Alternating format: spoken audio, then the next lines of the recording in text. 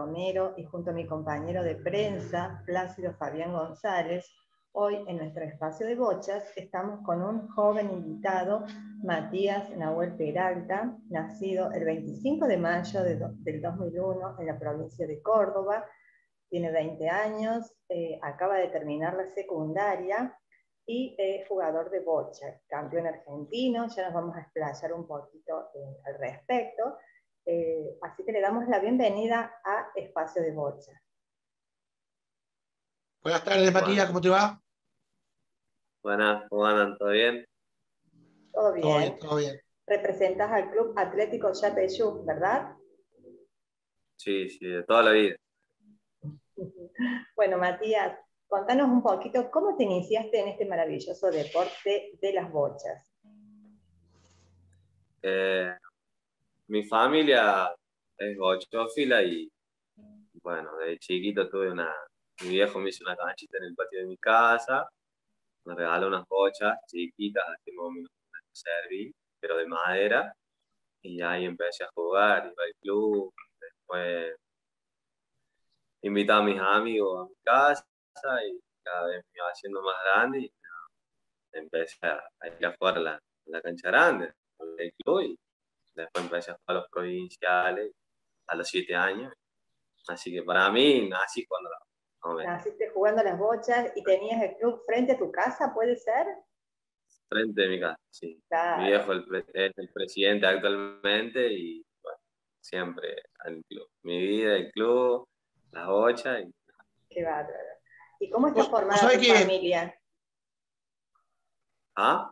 ¿Tu familia está formada por?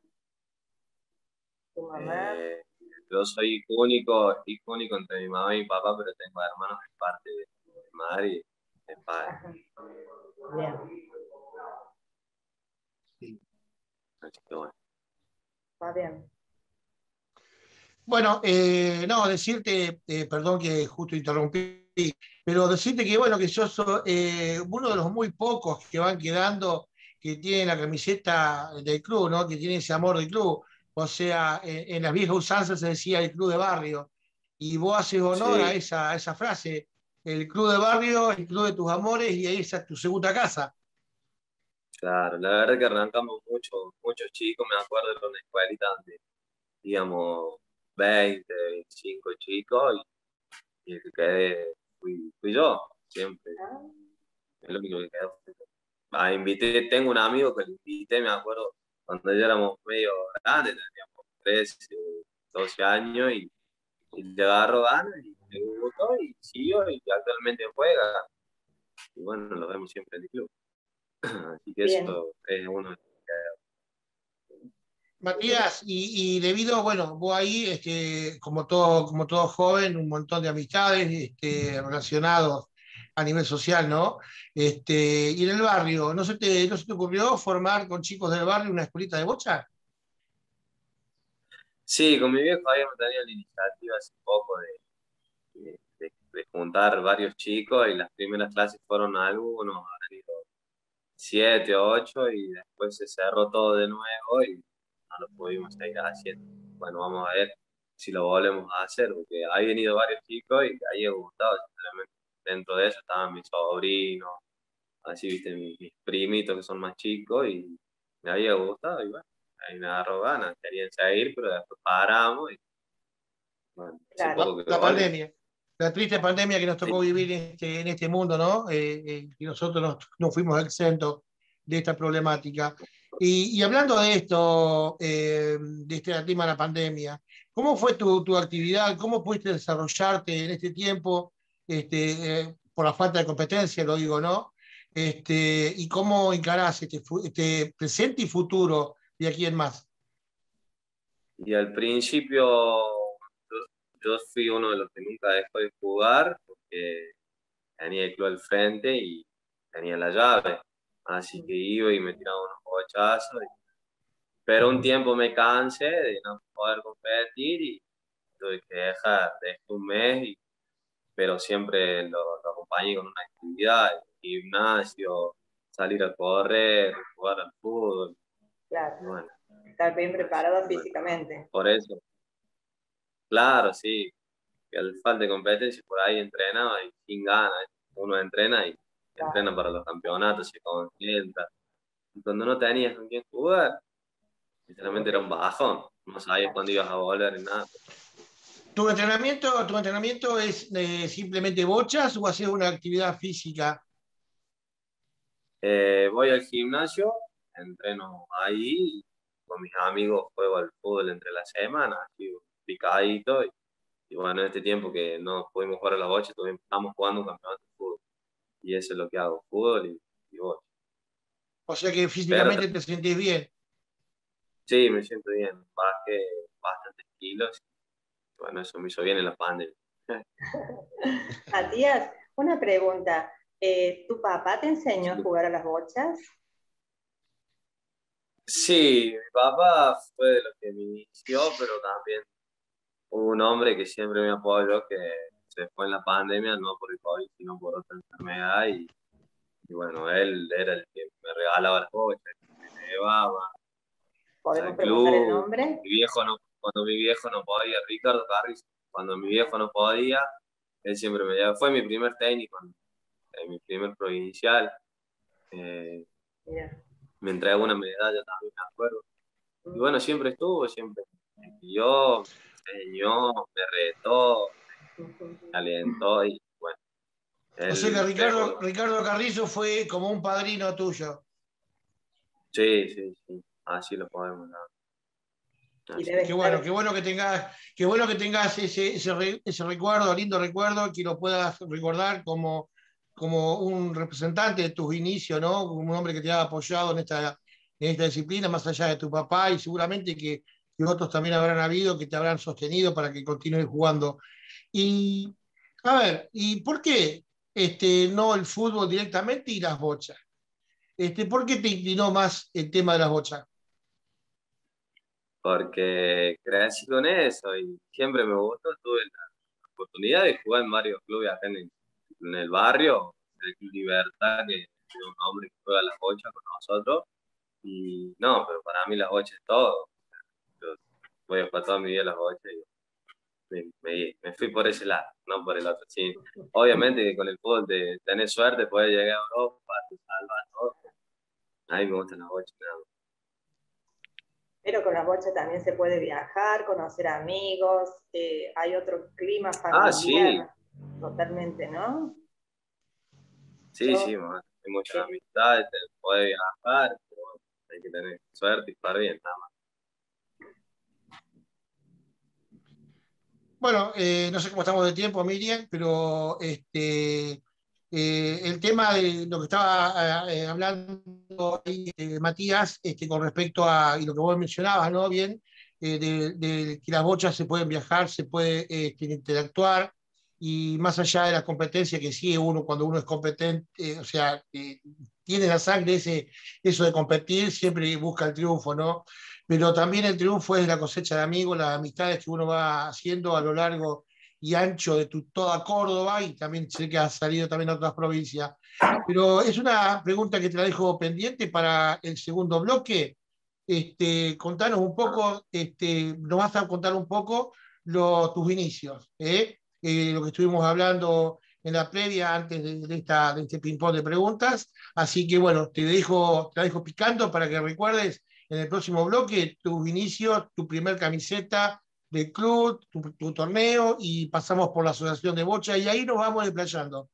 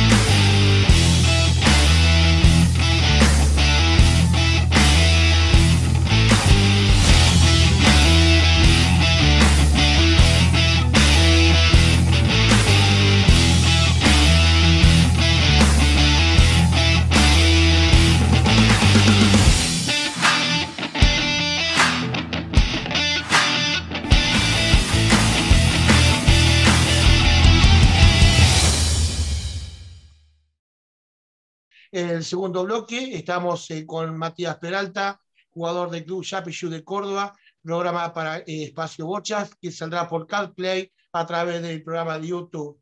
Así que en el segundo bloque seguimos con Matías Peralta.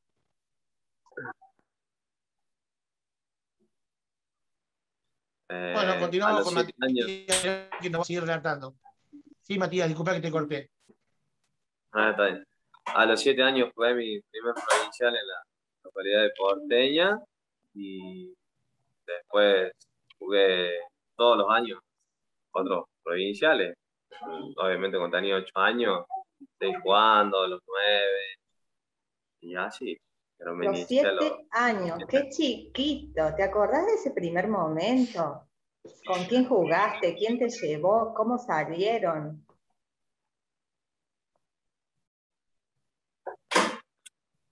Volvimos en la primera, en la primera fase, era los provinciales largos y volvimos. el equipo estaba conformado por chicos que ya no juegan y bueno, el técnico era Ricardo Carrizo, el delegado era mi abuelo y yo jugaba de puntero eh, y era de trío. Teníamos un mediero que, que se llamaba, creo que Francisco y un chavo que se llamaba Leandro. Leandro Esteban, ¿eh? eso, fue, eso, eso, fue a nivel asociativo ya, ¿no? Representando a tu asociación. Sí, sí, ese fue mi primer provincial. Tu primer provincial. Eh, y, bueno, y llega, y llega los logros, ¿no? Llegan los logros.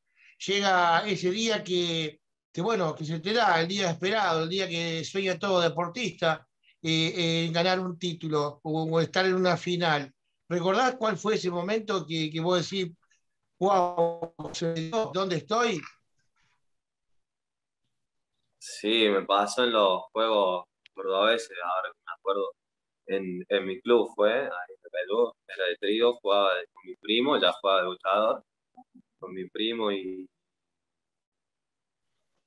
mi primo, un chico que vivía al frente del club y, y nadie más, era el chico y ganamos. O sea, jugamos un campeonato bueno, también el técnico era Ricardo Carrizo y llegamos a la final, un campeonato largo y tuve la suerte de, ganarlo con ellos.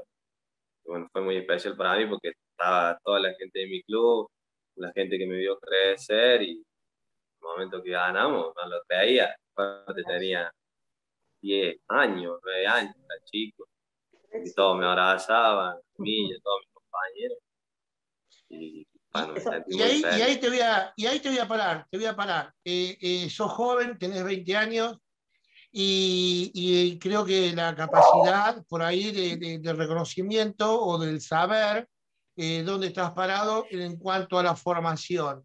La formación de un ser humano depende de las bases ¿no? familiares, del contexto que te rodea. ¿Y cuán importante para vos fue la familia o, o este, en este caso Carrizo? Para que, eh, o sea, para formarte en la actividad de la bocha y para llegar hoy donde estás? Para formarme en la actividad de las bochas fue importante Carrizo, porque, bueno, como digo, él me enseñó, él me llevó, me retó al principio y, bueno, tuvo mucho que ver en el deporte de él. Obviamente mi viejo era el presidente, pero a los consejos, todas esas cosas me las dio él. Bueno, de ahí saqué algunas él me formó. O sea, que, o sea que en la formación, en tu formación, este, tenés la contención familiar desde ya porque es la que te apoyó, la que te llevó, este, pero la contención y, y, el y el formato de lo que hoy es Matías Peralta se lo debes a Carrizo. Exactamente.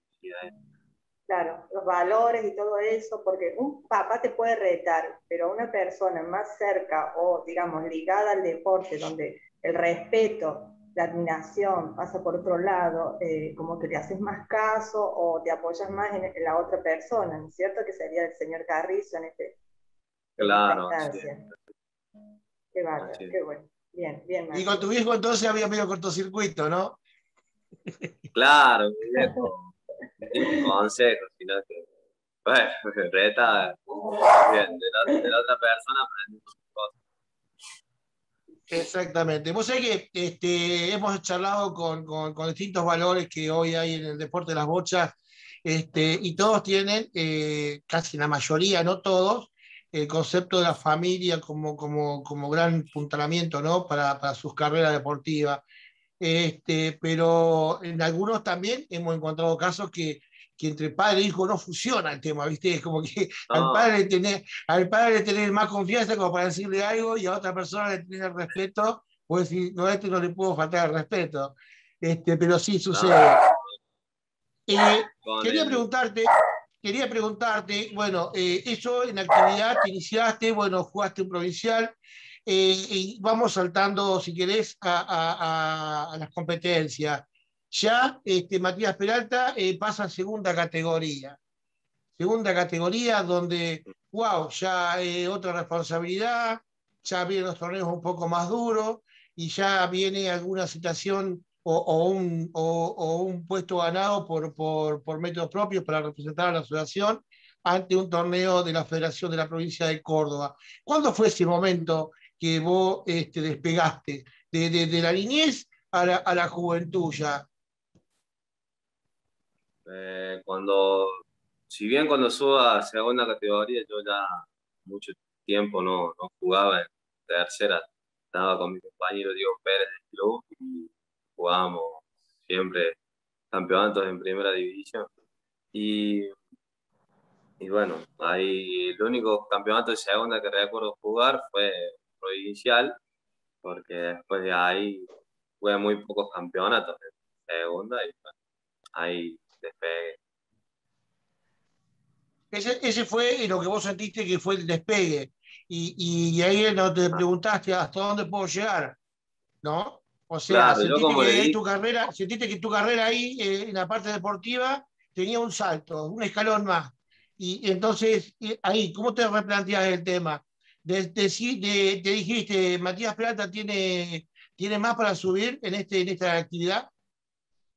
Sinceramente, un día hablando con, mi compañero Diego Pérez, le digo, ¿llegaré algún día primera? Le digo, todavía soy esa le digo, sinceramente no sé, le digo, sería un sueño, digo, hace mucho que lo vengo soñando desde chico, y llegaré primera, y ahí me habló, me dice, sí, que, si se me ponía a ver hace mucho tiempo que veníamos jugando en primera, que había ganado, que tenía condiciones, que siguiera, que no lo esperara, que iba a llegar solo, y bueno, un día, un, día, un fin de semana anterior al campeonato del club, yo estaba en segunda, y ganamos un campeonato, y ya para el campeonato de club ya tenía el carnet primera, y ahí me dijo, viste, que podía llegar a más, y bueno, ahí me di cuenta. Que, y esa sensación de haber subido, esa sensación de haber subido a primera categoría, porque viste que está el tabú, que en este deporte muchos quieren bajar en vez de subir, no sé si lo sabes eso, si, lo has escuchado. ¿Eh? Eh, para vos, subir a primera fue, para vos, subir a primera fue un orgullo. Sí, hasta ahora siento orgulloso de estar en esa categoría y poder jugar contra los grandes, tener el mismo carnet. Si bien ahora no, pero antes, porque está en la primera especial, pero antes tenía el mismo carnet que, todos los buenos. Y bueno, ver el carnet y ser el mismo para mí era un orgullo. Viste, Miriam, que, que, que, que, es diferente, ¿no? Que son las conversaciones cuando tenemos nuestro entrevistado, donde eh, algunos este, les cuesta eh, el primera o el primera especial, donde está esa reticencia de, no querer avanzar. O sea, no quiere avanzar por ahí en ningún sentido de que quedarse una categoría menor para poder este, este, conseguir los, los, éxitos que por ahí eh, desea en sus sueños o en su actividad que está haciendo. Y en cambio acá encontramos a alguien que cuando se lo sube a primera categoría se pone orgulloso. Eso habla, habla muy bien clara de que tu, tu, carrera va en ascenso, como tu mente. Tu mente va por más y buscas eso. Pienso que la, edad tiene mucho que ver también, la juventud, la visión a futuro, eso tiene mucho que ver en él. Entonces, en vez de, en vez de bajar, él sube, ¿entendés? Sube desde acá, me parece. Está bien. Bueno, es la competitividad, es la competitividad que él tiene por dentro. Claro. Es, es competitivo. Bueno, eh, Miriam, te dejo la segunda pregunta. Eh, no, solamente que vamos a ir a una pausa. La charla está muy linda con este joven Matías Peralta. hacemos una pausa y volvemos en un ratito, ¿puede ser? Vamos. Sí.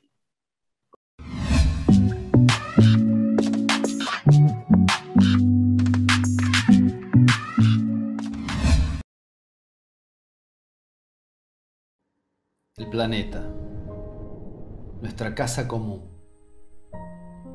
la casa de la humanidad, hoy está en una situación grave, compleja. Cuidarlo es una obligación. De esto depende la supervivencia no solo de nuestra generación, sino también de aquellos que vendrán después de nosotros. La batalla contra el cambio climático es el mayor desafío que tenemos por delante y el deporte debe ser protagonista trascendental y vital para cumplir con este objetivo. Desde la Confederación Argentina de Deportes constituimos alianzas estratégicas junto a Fundaciones Poterra, Clic Solar y GEA Sustentable, creando el Programa Federal de Deporte Sostenible Profedes una iniciativa ambiciosa en nuestro país que nos lleve a concientizar sobre la necesidad de cuidar el medio ambiente. Todos los días, con nuestras acciones, nuestras conductas, provocamos el deterioro de nuestro planeta. Vamos a cambiarlo. Vamos a trabajar unidos, con solidaridad, aportando nuestro granito de arena para formar una gran montaña, para generar conductas amigables que nos permitan conservar la casa de la humanidad. ¿Y vos? ¿Qué haces para cuidar nuestro hogar? Hola, mi nombre es Manuel Lascano de la Selección Argentina de Canotaje y mi manera de cuidar el medio ambiente es llevarme todos mis residuos después de mis entrenamientos para reciclarlos o compostarlos. Hola a todos, soy Mori Victoria, nadadora de aguas heladas y te invito a que en cada entrenamiento lleves tu propia botella de agua para evitar el consumo de plásticos de un solo uso. Hola, soy Elena Jaromicas, nadadora de aguas heladas y lo que hago es cada dos meses cambio algún producto que uso diariamente que no requieran plásticos, como por ejemplo cepillo de dientes, desodorante, pasta dental. Me llamo Guillermina Lázari, soy ex jugadora de fútbol, trabajo para el deporte y para los objetivos de desarrollo sostenible. Y hoy vengo a proponerte que juntos y juntas cuidemos el planeta, que tu huella sea el deporte. En equipo, vamos a trabajar por un presente y un mañana mejor. En equipo, vamos a formar la mayor red nacional de colíderes deportivos en equipo.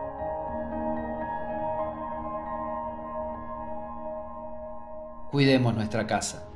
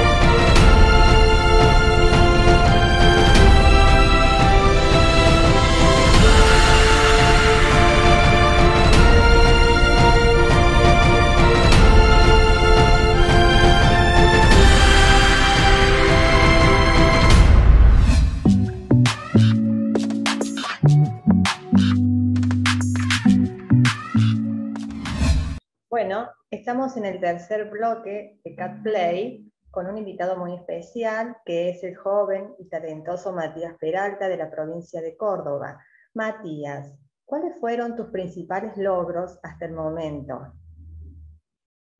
Eh, tengo tres campeonatos argentinos, uno ganado en Mendoza, sub-15, en 2016, también en el mismo año en San Francisco 2018 de pareja y en el sub 21 en La Pampa el 2019.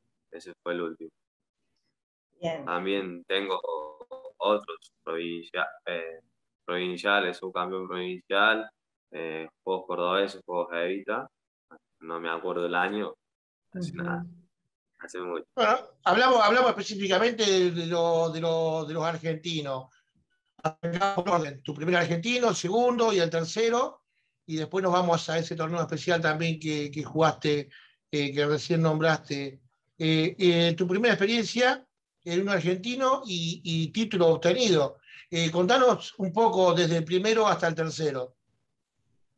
el primero, primero fue en ser, el primer argentino fue, pero el que gané hablo. El que gané el que gané fue en Mendoza, jugamos un provincial donde salimos tercero con mi compañero Agustín y bueno, fui elegido para ir a jugar en combinado y llegamos a Mendoza, fue muy especial porque el técnico fue mi papá, así que eso lo hizo muy especial y lo pude ganar.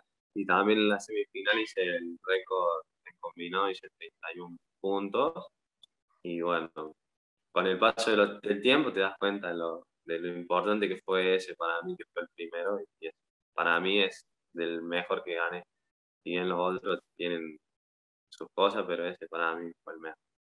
Lo especial lo hace, lo especial lo hace porque que fue acompañado con el, eh, con el acompañamiento de tu papá, ¿no? Claro, claro, sí, él fue el técnico. Bueno, no cualquiera tiene la suerte de salir campeón con el técnico que sea su papá y yo tuve esa suerte de poder salir campeón y argentino. Una emoción muy grande eh, a nivel eh, personal, a nivel familiar. Sí, sí, me habla. ¿Y fue, fue difícil? ¿Fue difícil, eh, digamos, seguir los consejos de papá en ese momento? ¿O cómo te adaptaste a la situación? Porque habíamos hablado de que venían una, tenían una relación difícil. ¿Cómo hicieron para para encajar. Bueno, decir que todo la suerte de jugar bien, si no, ahí otra cosa. Pero no, la verdad que sí, campeonato, a partir de ahí nos empezamos a llevar muy bien, ah. así adentro y afuera de la cancha. Así que gracias a Dios paso eso. Y bueno. El segundo, el segundo argentino, Matías, ¿dónde fue? Fue a, las, fue a la semana, a la semana en San Francisco. Yo viajé y volví el, domingo a la tarde y el martes íbamos, teníamos que viajar a, San Francisco a jugar el sub-18. Y ahí jugaba en la pareja. Y jugamos, jugamos Matías Anino, Franco Denot, Martín Oliva los cuatro y nos tornamos. Y, y bueno, jugamos eh, en la fase de grupo pasamos, llegamos a la semi, llegamos a Buenos Aires y salimos campeón. Con Martín Oliva juntos jugamos las finales en redes y, bueno, le ganamos a Loca, la San Francisco, fue una final bien cordobesa. ¿Eso fue en el 2016? Sí, todo el 2016. Eh, buen año. Y tu primer argentino fue en Ceres, ¿verdad? ¿En qué año? Sí. Ah, y yo me acuerdo que tenía 10 años seguramente tenía nueve. ¿Y qué te pasó ahí? ¿Te recordás esa anécdota cuando vos jugaste este, para eh, los cuartos de finales contra Chaco para pasar a semifinal? ¿Qué te pasó ahí? ¿Recordás? Sí, sí, jugábamos en el club italiana, cancha de tierra, de Conchilla, digo, y, había bastante gente. Sí, en los otros clubes donde jugamos no había mucha gente, pero habíamos jugado bien y sinceramente muchos equipos no nos habían hecho fuerza porque teníamos un equipo bueno. Y entonces cuando llega el momento ese teníamos una contra difícil. Hicimos un buen partido y creo que estábamos, sí, el Chaco. Creo que estábamos 13, 13, no me acuerdo 13, 13, 14, 14 y me quedaba echando partido. A mí yo era chico y fui corriendo a dar la bocha y cuando estaba apuntando no sabía dónde apuntar porque me tiritaba toda la mano. Y, así que esperé un ratito, me paré y dije, confiaba, que sea lo que Dios quiera. Salí, le tiré y bueno, y pudimos pasar a la semifinal.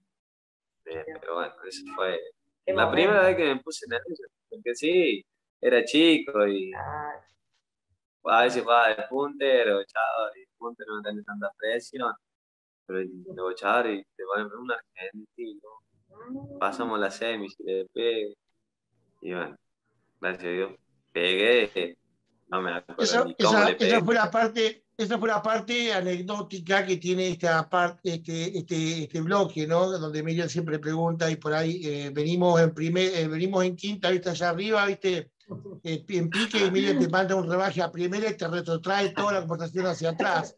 Este, pero estábamos, nos seguíamos guiándonos este, en el segundo argentino, donde vos en el mismo año, en la misma semana, o sea, mismo mes, este, jugás doble, doble argentino. Claro. Este, eh, qué difícil debe haber sido, ¿no? Porque la adrenalina a full ahí.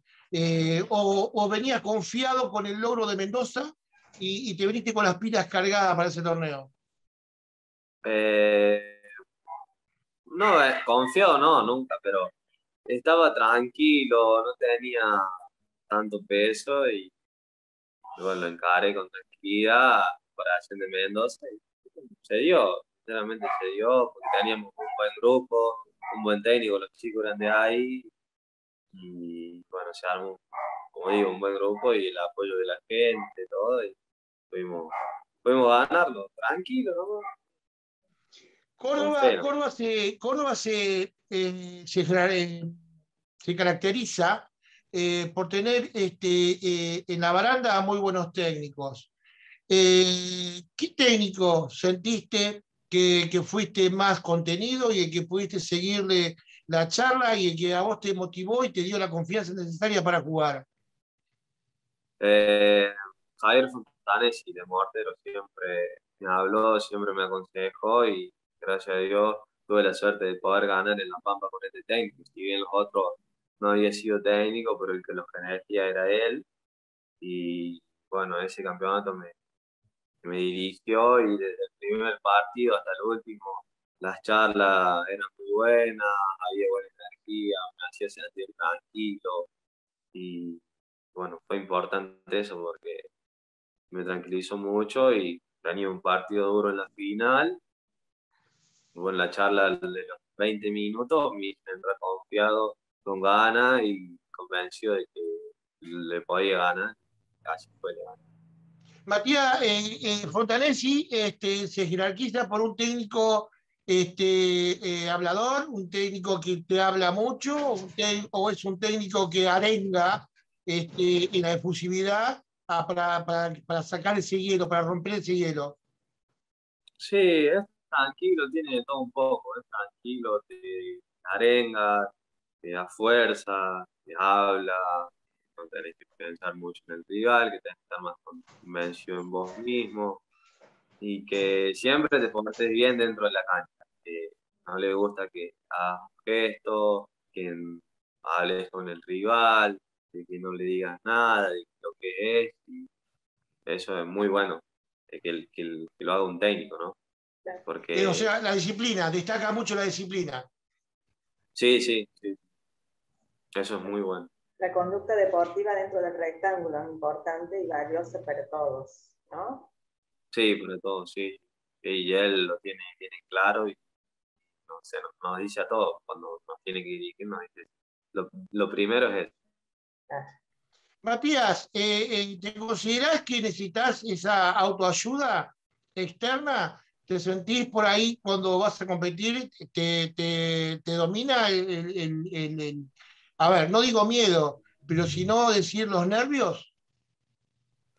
Sí, antes, antes viajaba seguido y, y un poco lo, había perdido, pero en la semana cuando hay que ir a jugar, siempre trato de, de estar tranquilo, de salir a hacer otras cosas, de caminar, de practicar para poder estar tranquilo, porque si no me pongo nervioso.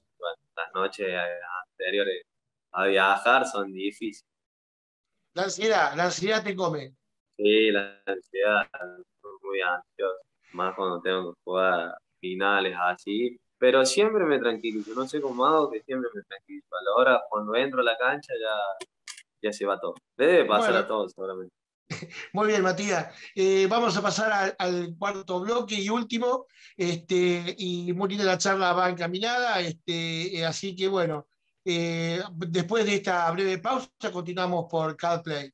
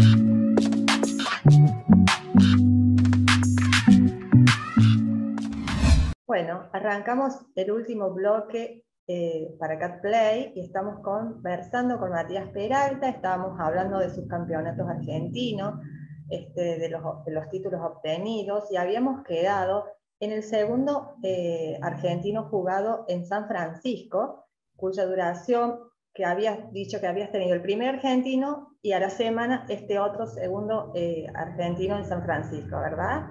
Contanos tu experiencia. Contanos un poquito cómo te fue, con quién jugaste. Eh, jugamos, habíamos jugado la final del provincial eh, contra esos chicos, nos ganaron y viajamos. El equipo estaba conformado por mi compañero Matías Anino, Franco Enot y Martín Oliva.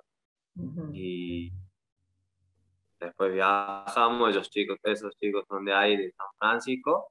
Llegamos, nuestro técnico era Hugo Canelo, hicimos un buen grupo y fuimos transcurriendo el campeonato y tuvimos la suerte de llegar en la pareja porque en el individual y en el combinado quedaron eliminados en las semis, pero en la pareja llegamos a la final y tuvimos la suerte de ganar eh, a San Francisco en una final bien cordobesa. ¿Con quién jugaste en la final? ¿Quién fue tu compañero? Fue de compañero con Martín, con Martín Oliva y, el suplente era mi compañero Matías Ari. Jugábamos siempre en el provincia. Bien, y luego en el 2019 saliste campeón argentino en La Pampa. Sí, jugamos, teníamos un grupo conformado entre de Facundo Cabeila, Romano Oviedo, Facundo Bondri, el técnico Jair Fontanesi, con Pascual y el delegado Dante Vera. Ah. Ahí sí, para mí fue el mejor grupo que tuve por la forma en la que pasamos muchos días juntos y la pasamos de 10, conversando, las cábalas, eh, siempre antes de salir, uno en el mismo auto, y, bueno, eso trajo su resultado porque llegamos los tres equipos a, la, a las finales y ganamos dos. Y, bueno, eso fue el mejor grupo que eh, Matías, ¿y algún sueño por cumplir? Quizás con la selección argentina, alguna convocatoria. Tuviste una convocatoria en el 2017, ¿verdad? Sí, en el 2017 fui dos veces a Canta. Mi compañero para ir fue el Paco. Fue en las primeras pruebas de él, el Paco campeón mundial.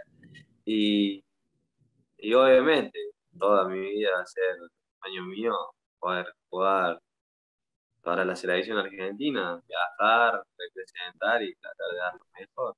Pero bueno, vamos a seguir luchando por eso para que algún día llegue.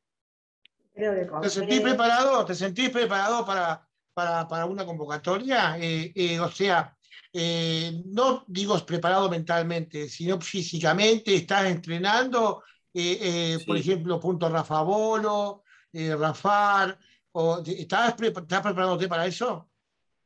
Sí, todo. La mayoría de los días voy a la siesta del club y lo que más práctico son las rafas. Y bueno, físicamente también estoy bien.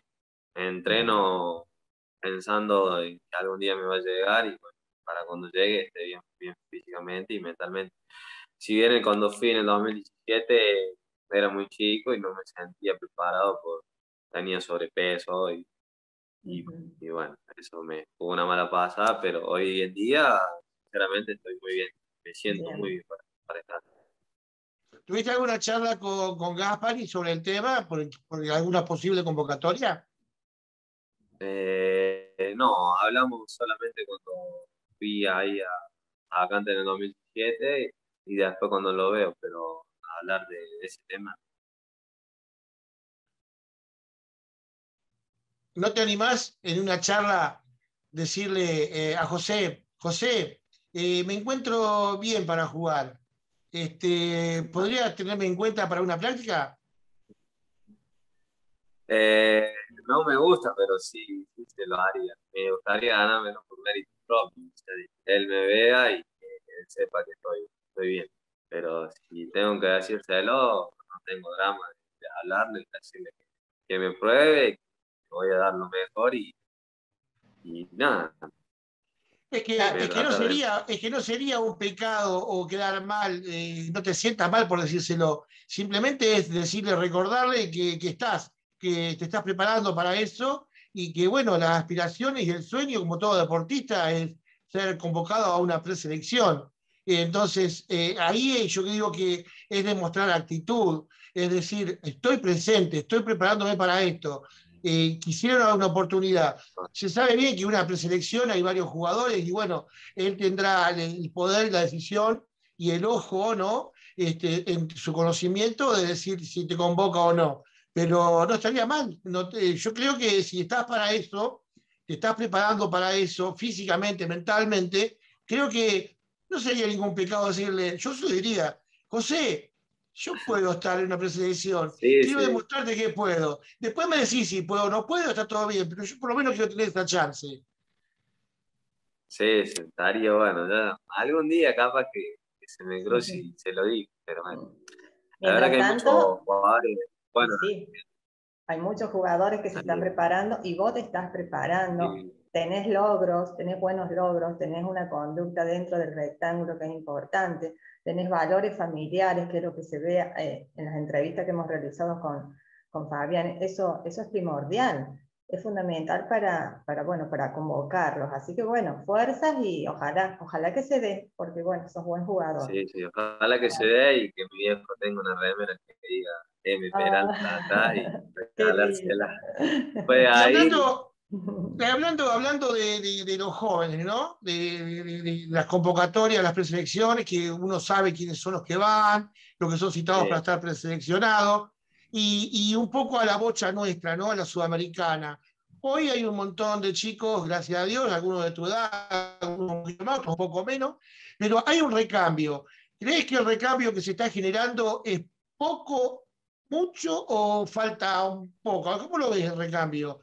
en la proporción, digo, este, si hay mucha cantidad de jugadores o no, que vos ves en condiciones de, de, ocupar esa marquesina que hoy tienen las grandes figuras. Acá en Córdoba hay cuenta de cambio, hay dos chicos que, tres chicos que van a ir a jugar ahora que tienen su 18 y que juegan muy bien y se ven que tienen muchas ganas. Y afuera también he visto bastante, bastante, no muchos como antes, pero sí, bastante. Y ojalá que dentro de poco se sumen más, porque es un deporte muy lindo. Bueno, como decimos siempre, tengo muchos amigos gracias a las bochas, afuera, en pueblos que son chiquitos, pero tienen un corazón enorme, que cuando vas te brindan lo mejor y eso acá no lo, no, no, lo encontrás acá en lo encontrás cuando sales afuera. Y, y bueno, eso sería bueno que se sumen los chicos para tener esa, esa clase de amigos. Que vean ¿Qué, ¿qué controversia, no? Viste que hay controversia. Eh, en las grandes urbes, en las grandes ciudades, este, no notas, no se nota ese, a ver, esa criollada que hay en los pueblos, donde el corazón es inmenso y encima los jugadores, los grandes jugadores están en los pueblos, o sea, en las ciudades chicas. sí, ¿Eh? sí, sí, sí, sí. Es así. ¿Cómo está Córdoba tenemos un, ejemplo, el, Nico, el Pablo, ah. el Guite, el Jovita, el Zacanta, el Luque, son pueblos chicos, pero bueno, y son buena gente y, juegan muy bien. ¿Cómo está Córdoba hoy en las bochas, eh, Córdoba Capital? ¿Cuántos clubes tiene ahí jugando en el circuito y, y cómo, ves, cómo ves el nivel de bochas cómo ves la situación ahí en Capital Federal con, el tema de las bochas? Y debe haber 28, si no me equivoco, 28 clubes. Y, bueno, la competencia eh, es la misma de todos los domingos, que juegan todos contra todos.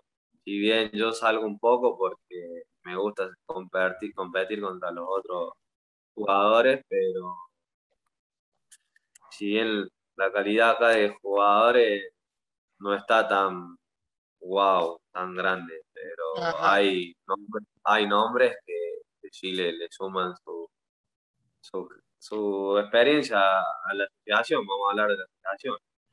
Eh, Fabián Romero, Fabián Pineda, son jugadores que, han dado mucho la bocha, pero bueno, tuvieron un mal tiempo y ojalá que lo recuperen porque jugadores como ellos hacen falta y han jugado muy bien. Bueno, el tiempo se nos acorta y, lamentablemente no, porque teníamos tantas cositas para charlar y para hablar, este, ahora que estabas distendido. Este, pero bueno, como, como dije, ¿no? los programas son programas, tienen sus tiempos, tienen sus pautas publicitarias y nuestro cuarto bloque llega a su final. Quisiera que, que hagas una pequeña reflexión con respecto, viste que el deporte de las bochas este, siempre dice que es un deporte de viejos y yo entiendo como vos también acá es un deporte de chicos también de todas las generaciones. Eh, cortito, cortito un mensaje, hablale a, esos chicos.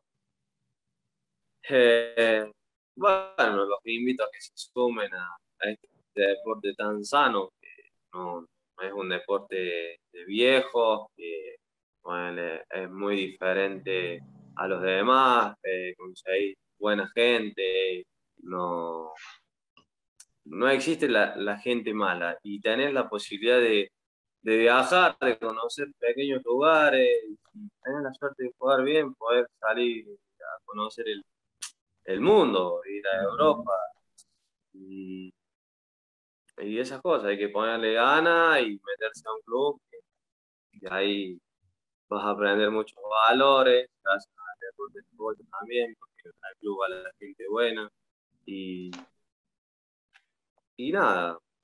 Y, con, respecto a las mujeres que también he visto que juegan en tu club. Ah, sí. Sí, ahí también tendrían, tendrían que sumarse. Si bien ahora no están practicando mucho, pero aquí en Córdoba hay muchas mujeres que juegan eso es muy, muy lindo. La verdad que le cambia un poco la cara al deporte. Bien. La, inclusión, la inclusión tiene que ser en todos lados este, porque las damas deben integrarse al deporte de las bochas. Eh, no tenemos mucho recambio en este sentido, o sea que es muy bueno el mensaje, bien la acotación de Miriam, eh, no hay que dejar a las damas excluidas, las damas tienen que participar, llamarlas y bueno, este, es un deporte de inclusión, ¿no? porque acá juegan todas las generaciones y, de y con gente que no vidente, con discapacidad, y bueno, el deporte de la bocha es en eso, sí es eso, ¿no? Es inclusión. Miriam, te dejo el remate, este, el tiempo se nos terminó, así que bueno, eh, de mi parte, Matías, muchísimas gracias por estar, por acompañarnos y, bueno, desearte lo mejor, lo mejor eh, de la carrera y ojalá sueñes, sigas soñando con esos este, de vestir una camiseta celeste y blanca. Así que de mi parte, eh, todas las mejores vibras. Bueno, muchas gracias, Fabián. Te mando un abrazo y ojalá que nos veamos pronto y bueno, a seguir haciéndole bien a este deporte como usted lo hace. Te mando un abrazo. Otra edición más que realizamos junto a mi compañero de prensa, Plácido Fabián González. Hoy en nuestro espacio de bochas pasó el joven y talentoso Matías Peralta. Esto fue todo para Cat Play. Nos vemos en la próxima edición. Chau, chau.